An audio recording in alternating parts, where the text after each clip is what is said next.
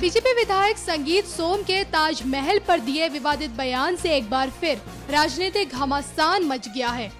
इस बीच उत्तर प्रदेश के मुख्यमंत्री योगी आदित्यनाथ ने कहा है कि ये मायने नहीं रखता है कि इसे किसने और क्यों बनाया। ये हिंदुस्तानी मजदूरों के खून पसीने से बना है। यूपी सीएम ने कहा ताजमहल हमारे लिए बहुत ज़रूरी है, खासकर पर्यटन की दृष्टि से। पर्यटकों को सुरक्षा और सुविधा देना हमारी ज़िम्मेदारी है। भारत में ताजमहल पूरी दुनिया से लोग देखने आते हैं। यह भारतीय मजदूरों के खून पसीने की देन है। कौन बनवाया, इसका कोई महत्व नहीं है।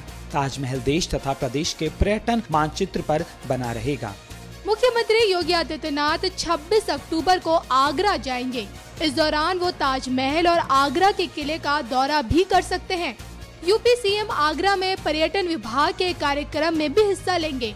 गौरतलब है कि सरदना से बीजेपी विधायक संगीत सोम ने एक समारोह के दौरान कहा था कि ताजमहल को ऐतिहासिक धरोहर नहीं कहा जा सकता है। न्यूज़ एक्सप्रेस की रिपोर्ट।